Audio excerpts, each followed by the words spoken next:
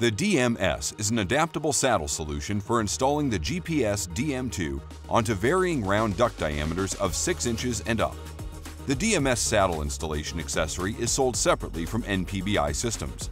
Before you start the installation, confirm you have the following items. DM2 air ionization system, DMS mounting saddle. The included mounting hardware is not required when using the saddle. You will also need a 4.5 inch hole saw or snips, appropriate sized band clamps or cable ties, appropriate conduit and wiring. The DMS should be installed as close to the conditioned space as possible to minimize ion loss throughout the ductwork. For VAV and other mixing box installations, install the product on the discharge or supply side of the box.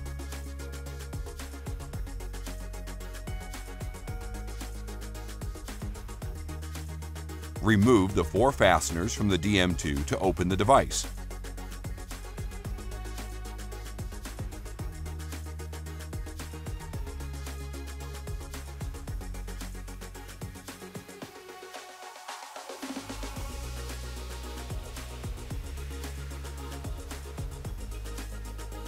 Connect the appropriate conduit and fitting as necessary for the application.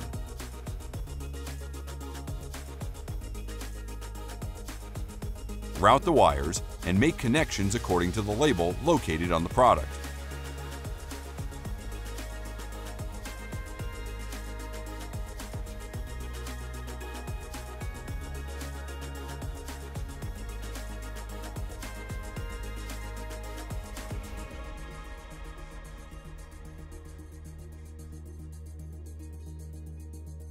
Tighten the strain relief clamp to hold the wires, being careful not to damage them.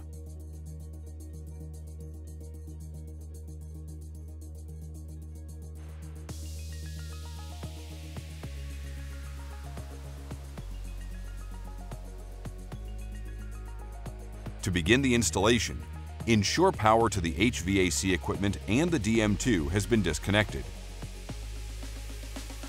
Now find a good location for the DM2S and cut a 4.5 inch round hole in the duct. Slide the cable ties or band clamps through the saddle eyelets. Lay the saddle against the round duct and connect the cable ties or band clamps around the duct. You can pre-bend the saddle for smaller ductwork if desired. Tighten cable ties or band clamps until the foam gasket is slightly compressed against the duct wall. Turn the DM2 counterclockwise from the final installation orientation and insert it into the saddle.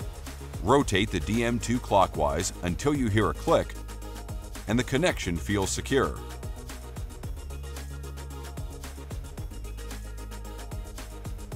The DM2 comes with a factory preset cleaning cycle designed to clean the emitters once every day.